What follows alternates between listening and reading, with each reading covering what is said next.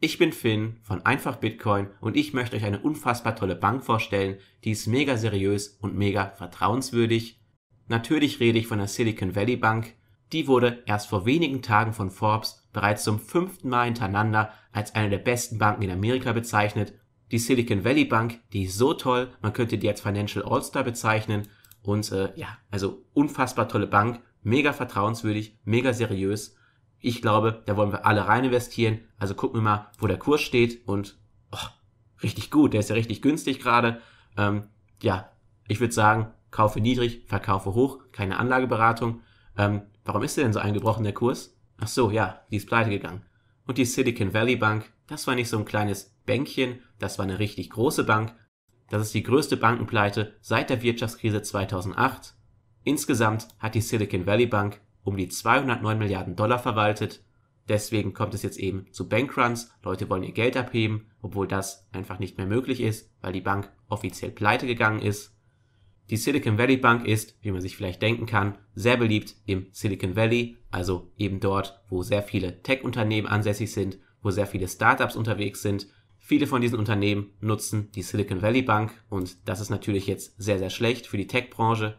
Die Konsequenzen, die können wir noch nicht wirklich absehen. Und wenn wir die Silicon Valley Bank mit anderen Banken in Amerika vergleichen, dann können wir sehen, dass nur ca. 2,7% der Gläubiger überhaupt unter 250.000 Dollar auf der Bank halten. Für diese Gläubiger gibt es also eine Einlagensicherung und für die anderen 97% der Kunden, die hatten deutlich mehr als 250.000 Dollar auf der Bank und das heißt, dass die einen großen Verlust erfahren werden. Wir können also sehen, dass die steigenden Zinsen jetzt wirklich große Konsequenzen mit sich bringen.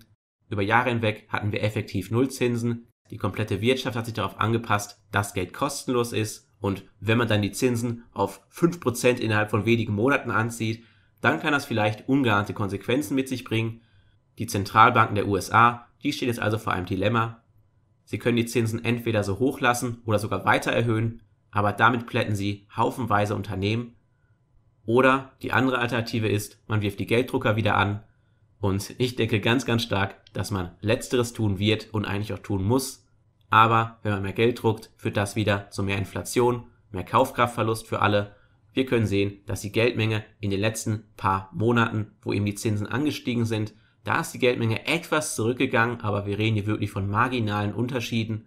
Und ähm, ja, wenn jetzt wieder Geld gedruckt wird, dann könnt ihr euch vorstellen, dass diese Linie hier noch ein bisschen weiter ansteigen wird Je mehr Geld in Umlauf kommt, desto höher die Preissteigerung. Wer sich dafür genauer interessiert, dem kann ich oben rechts ein Video verlinken. Für Bitcoiner sollte das alles nichts Neues sein, denn exakt dafür wurde Bitcoin erschaffen. Jeder, der sein Geld auf der Bank hält, der hat kein Geld, der hat einfach nur Schuldscheine und die werden vielleicht niemals eingelöst werden können. Der Grund, warum diese ganzen Banken immer wieder pleite gehen, das liegt einfach daran, dass wir Fractional Reserve Banking betreiben Du gibst deiner Bank zum Beispiel 100 Euro und die Bank kann dann einfach deine 100 Euro extrem stark hebeln und dann mit 1000 oder 5000 Euro an den Finanzmärkten spekulieren. Das heißt, wenn auch nur ein Bruchteil der Leute das Geld von der Bank abheben wollen, dann würden diese Banken sofort pleite gehen und deswegen gibt es ja diese ganzen Beschränkungen auf Bargeldabhebungen und genau deswegen ist das Geld, das du auf der Bank hältst, ganz einfach nicht dein Geld. Du hast nur Geld, wenn du Bitcoin hältst, alles andere ist nur ein Schuldschein aber da wir mit Bitcoin noch so früh dran sind, hat noch kaum einer das wirklich verstanden. Und jeder Einzelne, der seine Bitcoin verkauft, weil irgendwelche Banken pleite gehen, der hat noch gar nicht die Grundlagen von Bitcoin verstanden. Denn das sind Leute, die sich kaum mit Bitcoin beschäftigt haben, die also denken, dass Bitcoin ein Investment ist, und zwar ein hochriskantes Investment. Deswegen verkauft man bei irgendwelchen Turbulenzen am Aktienmarkt sofort seine Bitcoin, weil das das riskanteste Investment ist. Ähm, tja, da kann ich nur sagen, selbst schuld. Wer nicht seine Hausaufgaben macht, der muss eben lernen, und zwar auf die harte Tour. Aber wo wir doch gerade schon von pleitegehenden Banken sprechen, wie geht's eigentlich Credit Suisse? Und äh, ja, oh, die haben den Geschäftsbericht verschoben. Naja, das ist ja komisch. Keine Sorge, ich glaube, denen geht's bestimmt richtig gut, wenn man Geschäftsberichte verschieben muss. Das ist immer ein ziemlich gutes Zeichen von absoluter Stärke des Unternehmens. Solche Vorreiter wie Wirecard, die haben das zum Beispiel auch gemacht. Äh, also sehr vertrauenswürdig. Momentan ist im Web3 Metaverse Cryptoland die Hölle los. Auch die US-Kryptobank Silvergate, die steht gerade auch vor dem Aus. Und das hat alles Auswirkungen auf den kompletten Kryptomarkt. Wir können sehen, dass diese tollen Stablecoins, die zum Beispiel einen Dollar repräsentieren sollen, dass die nicht mehr so gut darin sind, einen Dollar zu repräsentieren. Tatsächlich ist Tether der einzige große Stablecoin, der wirklich noch bei einem Dollar liegt ungefähr. USDC liegt zum Beispiel bei unter 91 Cent und ja, auch DAI ist gerade am Dien und so weiter und so fort. Auch der Decentralized US-Dollar Stablecoin von der DeFi Chain, der ist auch bei 70 Cent, aber keine Sorge, die haben andere Probleme, weil dieser Stablecoin, der war noch nie stable, der hat noch nie wirklich einen US-Dollar repräsentiert. Auch hier können wir sehen, dass Dr. Jonas Hosp der Konkurrenz immer einen großen Schritt voraus ist. Und ja, diese ganzen Problematiken mit pleitegehenden Banken und irgendwelchen Stablecoins, die sich gerade entkoppeln, das betrifft natürlich Coinbase oder auch Binance. Also Binance ist die größte Kryptobörse der Welt. Der Stablecoin von Binance, der befindet sich auch gerade in rechtlichen Schwierigkeiten. Die US-Behörden, die haben ihren Krypto-Crackdown gestartet und gehen klar gegen illegale Wertpapiere vor. Nur Bitcoin ist ein digitaler Rohstoff und alle anderen Kryptowährungen sind illegale Wertpapiere von Softwareunternehmen.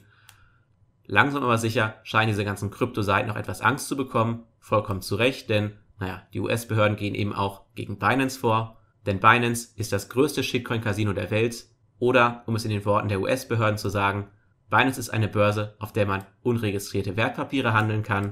Äh, ja, kommt beide aufs Gleiche hinaus. Illegale Wertpapiere, also Altcoins und diese Kryptohandelsplattform, die kommen gerade in ordentliche Schwierigkeiten. Auch zum Beispiel die Kryptohandelsplattform Huobi. Ich möchte Huobi jetzt nicht unterstellen, aber diese Kryptohandelsplattformen, die eben illegale Wertpapiere anbieten, die bieten auch oft ihren eigenen Coin an, also ihr eigenes illegales Wertpapier und den blähen sie mit Kundengeldern einfach auf um damit möglichst viel Marketing zu betreiben, um damit zu spekulieren und dann gehen die pleite. Wie gesagt, ob das Huobi macht, das kann ich nicht wissen, aber FTX hat das zum Beispiel gemacht und andere Kryptohandelsplattformen, die machen das auch. Und auch dem König der Blockchain-Betrugsmaschen, also Ethereum, den geht's langsam auch an den Kragen, denn, wie ich bereits gesagt habe, sind die US-Behörden klar der Meinung, dass auch Ethereum ein Wertpapier ist. Das wurde so auch nochmal im KuCoin-Gerichtsverfahren unterstrichen. KuCoin steckt eben auch gerade in Schwierigkeiten, weil die illegale Wertpapiere verkaufen, was natürlich die US-Behörden nicht so lustig finden. Wie man am Chef von Ethereum, Vitalik Buterin, unschwer erkennen kann, sind das gerade brutale Zeiten für Krypto. So wie es aussieht, wurde Vitalik wohl von Gary Gensler höchstpersönlich verkloppt. Vielleicht hat Vitalik aber auch mein Video gesehen, in dem ich erkläre, warum Ethereum ein Wertpapier ist und damit einhergehend eigentlich auch ein Betrug. Jedem Einzelnen, der irgendwie gerade Angst hat wegen der wirtschaftlichen Lage, dem kann ich nur ganz klar sagen, beschäftigt euch besser mit Bitcoin, denn das alles ist für Bitcoin vollkommen irrelevant. Das kann alles Bitcoin rein gar nichts anhaben, das muss man verstehen. Glaubt mir nicht einfach, sondern recherchiert das selbst. Don't trust, verify. Ihr müsst also langfristig denken und da sind Kurseinbrüche relativ praktisch. Ich hoffe, ich konnte euch mit diesem Video einen Mehrwert bieten. Schreibt gerne eure Meinung und Fragen in die Kommentare wenn euch das Video gefallen hat, dann würde ich euch bitten, meinen Kanal zu abonnieren, dem Video einen Daumen nach oben zu geben und das Video mit euren Freunden zu teilen. Das würde mir und meiner Arbeit sehr stark helfen. Dann würde ich sagen, vielen Dank fürs Zusehen und bis zum nächsten Mal.